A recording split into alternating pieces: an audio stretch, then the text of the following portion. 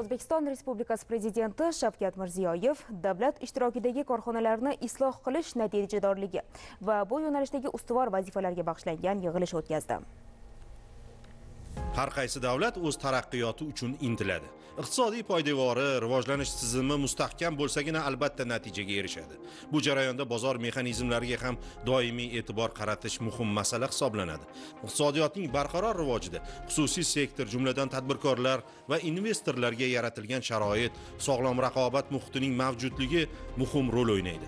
Hozirgi kunda mamlakatimizda bu borada juda katta amaliy harakatlar olib borilmoqda. Yurtimizda ochilayotgan ko'plab xorijiy korxonalar va kirib kelayotgan katta sarmoyalar bunga misol. Lekin shu bilan birga hali foydalanilmay yotgan imkoniyatlarimiz qancha? Misol uchun davlat ulushi asosida ish olib boruvchi korxonalar faoliyatini tahlil etadigan bo'lsak ularning birontasi bugungi raqobatga bardosh bera olmayapti. Aksariyati bazo'r ish yuritib foydadan ko'ra ko'proq zarar keltirmoqda. Albatta ular iqtisodiyotimizga og'ir yuk bo'layapti sababi davlatnikimi? Demak hech kimniki degan eskicha qarashlardan ham afsuski hali hanuz qutulolganimiz yo'q.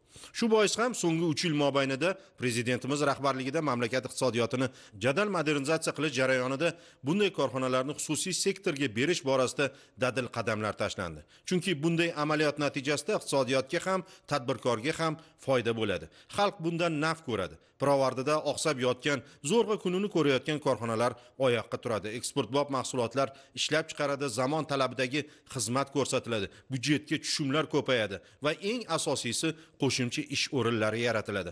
Aholining daromadlari oshadi.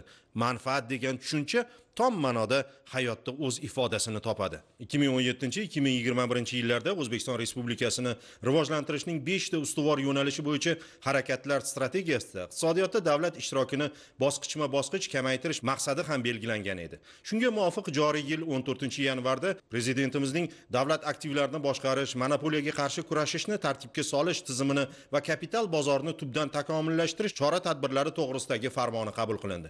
O'tgan qariyb bir yil mobaynida korxonalarning ustav kapitalidagi davlat ulushini samarali boshqarish iqtisodiy nochor korxonalarni moliyaviy sog'lomlashtirish bo'yicha muayyan ishlar amalga oshirildi. Tahlillarga ko'ra bugungi kunda mamlakatimizda 2819 ta davlat ishtirokidagi korxonalar mavjud. Ularning aksariyati eski usulda samarasiz ishlagani sababli hatto dividend to'lay olmaydi. Yig'ilishda prezidentimiz ushbu holatni jiddiy tanqid qilib uning samarali yechimiga alohida to'xtalib o'tdi. 2020 yil nimalarga biz e'tibor qilishimiz kerak? Oldimizda og'ir yil. Nimaga desangiz marralarimiz juda katta. Hozirgi davlat ulushi bor korxonalarni taqdiri nima bo'ladi? Davlat ulushi bo'lgan korxonalarni qachongacha boqamiz? Ularda nima keragi bor? Beshta korxona bor yo'g'i biri o'nda olti trillion dividend to'ladi. Bu nima degan gap? Biz investitsiya jozibadorlik nuqtai nazaridan katta ish qilyapmiz. Investitsiya olib kelyapmiz mana. Davlat ulushi korxonalarida baribir infrastruktura bormi yo'qmi? Tayyor bino bormi yo'qmi? Lekin biz investorni olib kelyapmizda boshqa infrastruktura tuzyapmiz yo'l qilyapmiz gaz olib boryapmiz svet olib boryapmiz stroy montaj qilyapmiz. Oyog'imizni tagida turgan imkoniyatdan foydalanmasdan yo'q imkoniyatni izlab olib kelyapmiz. Yigirma sakkiz yil biz mana shu sohalar bilan umuman shug'ullanmadik desak bu ham adolatdan. Ikkinchidan bizda tajriba yo'q. Bu bizni eng katta zaif joyimiz shu. Davlat ulushini olib tashlab xususiyga berib yoki investor olib kelish bo'lmayaptiku. Rayonni viloyatni respublika mutasaddi tashkilotlari investorlarimizni ishlatib mana shu davlat ulushi bor korxonalarni sotuvga qo'ysa uni mijozi paydo bo'ladimi yo'qmi? Paydo bo'ladi. Ikkinchidan bir ming olti yuz qirqta unitar korxonalar o'zbekistonga nima manfaat beryapti? Tayyor bino turibdi temir yo'l turibdi svet borgan gaz borgan bo'mbo'sh o'ttiz foizga ishlayotgan korxonalar juda ko'p. Agar biz mana shu davlat ulushi bor korxonalarni har bittasi bo'yicha yigirmanchi yilga to'g'ri yo'nalish qilib hisob kitobni joyiga qo'ysak kam xarajat bilan ko'proq investitsiya olib kelishimiz mumkin. Kam xarajat bilan ko'proq ishchi joyi tashkil qilishimiz mumkin. Kam xarajat bilan ko'proq eksport qilishimiz mumkin. Davlat ishtirokini hech zarurat bo'lmagan sohalarda ham saqlab turibmiz. Davlat korxonalarini boshqarish faoliyati samarasini oshirish ularning funksiyalarini xususiy sektorga berish bo'yicha hali sezilarli o'zgarishlar bo'lmadi dedi mamlakatimiz rahbari. Yig'ilishda 2020 yilda davlat ishtirokidagi korxonalarni boshqarish bo'yicha yangi vazifalar belgilandi. Avvalo bunday korxonalarni isloh qilish va tugatish saqlash yoki xususiy sektorga berish masalasini o'rganish bo'yicha bosh vazir uning o'rinbosarlari boshchiligida ishchi guruhlar tashkil etildi. Jumladan axborot texnologiyalari sohasidagi 140 ta korxona hududlardagi kommunal qurilish va xizmat ko'rsatish subyektlariga tegishli 1573 ta geologiya metallurgiya moliya tashkilotlari bo'yicha 137 ta yengil sanoat mashinasozlik va elektrotexnika tarmoqlaridagi 49 ta ijtimoiy soha turizm va farmatsevtika yo'nalishidagi 449 ta kimyo neft gaz energetika sohasidagi 42 ta qishloq xo'jaligi va oziq ovqat tarmog'idagi 330 ta sanoat zonalaridagi 99 ta korxona bo'yicha alohida ishchi guruhlar tuzildi. Yurtboshimiz iqtisodiyotimizdagi muammoni ayni ildiziga e'tibor qaratdilar. Davlat ishtirokidagi korxonalarni to isloh qilmagunimizcha keyingi pog'onaga ya'ni bozor iqtisodiyotiga o'tish jarayonlarini juda murakkab va qiyin bo'ladi. Shuning uchun ham bugungi kunda e, davlat ishtirokidagi ikki ming sakkiz yuz o'n to'qqizta korxonaga samarador ishlashga qaratilgan chora tadbirlarni belgiladilar. Ushbu yo'nalish bo'yicha alohida sakkizta ishchi guruh tashkillashtirib berdilar va o'sha sakkizta ishchi guruhga sohaviy sohaviy yo'nalishlar bo'yicha belgiladilar va o'sha ishchi guruhga aniq vazifalar qo'yilgan. Nimadan iborat u vazifalar degan savolga shuni aytishim kerak birinchi navbatda o'sha ikki ming sakkiz yuz o'n to'qqizta korxonani birma bir tahlildan o'tkazishimiz kerak bo'ladi o'zlaringiz bilasizlarki ikki ming sakkiz yuz o'n to'qqizta korxonamiz bugungi kunda yalpi ichki mahsulotda ulushi ellik besh foizni tashkil qiladi. Ya'ni agar shu korxonalarni birinchi navbatda samaradorligini oshirsak birinchidan umumiy e, iqtisodiyotimizni rivojiga ijobiy ko'rsatkichlarga sazovor bo'lamiz. Bu birinchi. Ikkinchidan juda ko'p e, ortiqcha bo'lgan korxonalarni mavjudligi bu bozorda e, rivojlanishga ham to'siq qiladi. Ya'ni raqobatdosh e, tizimni yaratishga e, imkoniyat bermaydi. Umuman e, har qanday korxonani samaradorligini oshirishni bitta bitta yo'li bu korporativ boshqaruvni joriy qilish. Lekin uni amalga oshirish bo'yicha bugungi kunda biza oqsoqlikka yo'l qo'yapmiz. Buni ham tan olishimiz kerak. Shuning uchun o'sha maqsadga erishish uchun nima aniq vazifalarni amalga oshirishimiz kerak qachon amalga oshirishimiz kerak degan aniq topshiriqlar berdilar va shu ham ishchi guruhni vazifalarining bittasi bo'ladi. Birinchidan samarasiz ishlayotgan korxonalarni sotishimiz kerak. Uni xususiy sektorga berishimiz kerak. Xususiy sektordan u birinchi navbatda manfaat bu daromad. Xususiy sektor kirgandan keyin o'zidan o'zi albatta korporativ boshqaruvni o'zi kirgizadi.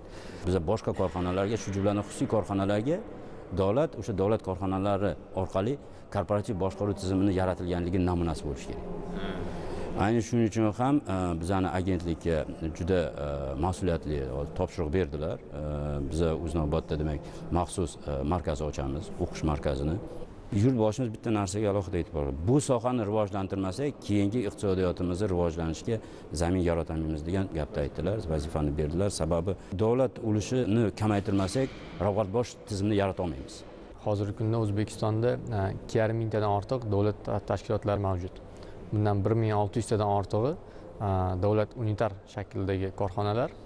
Endi mana bozor iqtisodiyotiga o'tayotgan sharoitda barcha yo'nalishda shuncha islohotlar boshlanganki lekin haligacha mana shu tashkilotlar ko'plari umuman daromad ham keltirmaydi zarar bilan ishlaydi. Shu bilan birga shu tashkilotlarni o'zi o'sha tegishli sohalarda xususiy sektorga demak rivojlanishga to'sqinlik qilyapti albatta har bitta vazirlik qoshida o'zini tashkiloti bo'lgandan keyin u sohadagi xususiy tashkilotga rivojlanishga chin ko'ngildan yordam bera olmaydi o'zini tashkiloti bo'lib turgan paytda.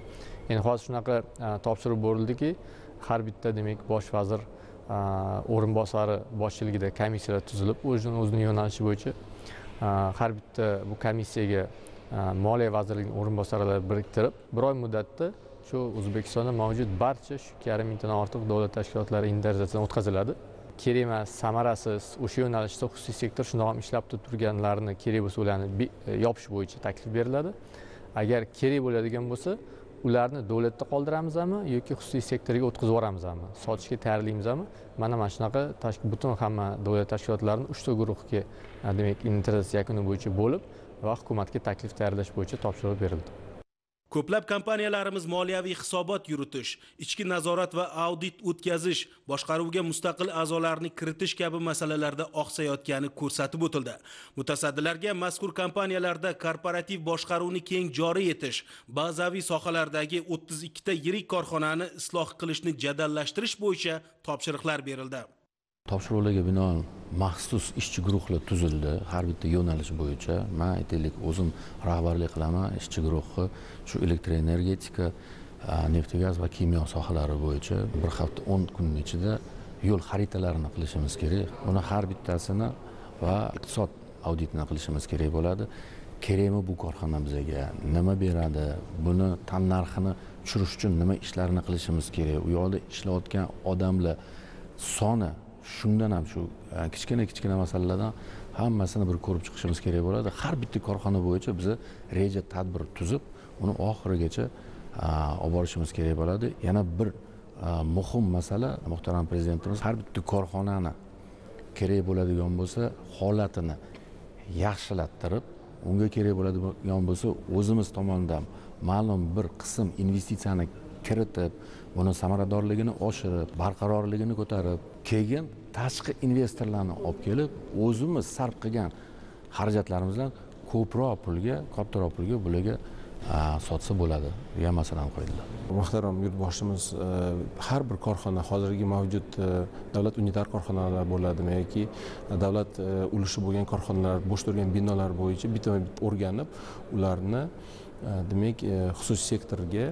yoki э, davlat xususiy sherikchilik asosida yoki xususiylashtirish e, orqali ularni berish lekin asosiy maqsad barcha iqtisodiy sohalarda yuqori daromadli ish o'rinlarini e, yaratish. Ya'ni e, aholimizni yanada boyroq qilish ularga sifatli davlat xizmatlarini ko'rsatish. Bu borada ijtimoiy sohada ham ko'plab ishlar amalga oshirish imkoniyatlariga egamiz.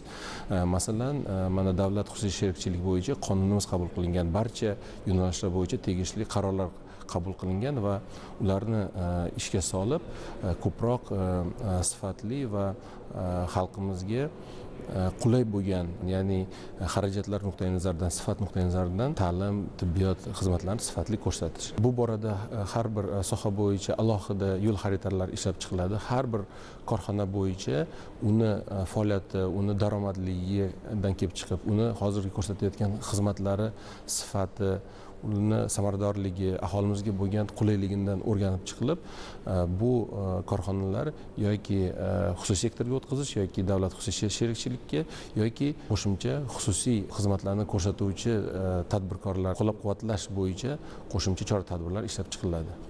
Yig'ilishda samaradorlikning muhim ko'rsatkichlari ya'ni kpi har bir korxonada ishlab chiqilishi va muntazam nazorat qilinishi lozimligi ta'kidlandi. Davlat ulushi bo'yicha dividendlar hisoblanishi va budjetga o'tkazilishini nazorat qilish tizimini takomillashtirish bo'yicha ham vazifalar belgilandi.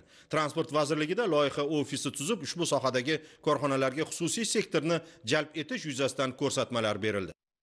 Hozirgi e, bizda mavjud bo'lgan monopolist korxonalarni agar tahlil qiladigan bo'lsak bularning e, to'qson foizdan yuqorisi aynan shu davlat e, aralashuvi bilan tashkil qilingan korxonalar. Ya'ni bu davlat unitar korxonalari aksiyadorlik jamiyatlari e, va ushbu jamiyatlarda davlatning ulushi e, kamida ellik foizni tashkil qiladi. Misol keltirib o'taman vazirliklar va ayrim idoralar tomonidan o'zlariga tegishli bo'lgan davlat unitar korxonalari tashkil qilingan. Va bu korxonalar e, aynan shu xususiy sektor bilan bir tomondan raqobatlashib kelinyapti bir tomondan raqobatlashmasligi uchun ularga eksklyuziv huquq berilgan. Lekin bu e, xizmatlarni aynan xususiy sektor ham e, amalga oshirishi mumkin.